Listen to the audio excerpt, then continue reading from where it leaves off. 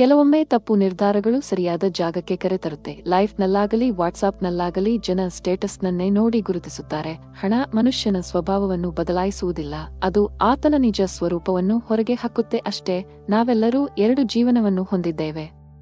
ಅದರಲ್ಲಿ ಎರಡನೆಯದು ನಾವು ಒಂದೇ ಜೀವನ ಮಾತ್ರ ಹೊಂದಿದ್ದೇವೆಂದು ತಿಳಿದಾಗ ಪ್ರಾರಂಭವಾಗುತ್ತದೆ.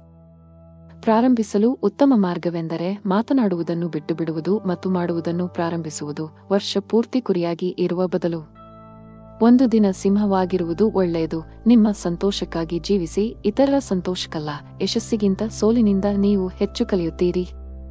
ಇದು ನಿಮ್ಮನ್ನು ನಿಲ್ಲಿಸಲು ಬಿಡಬೇಡಿ.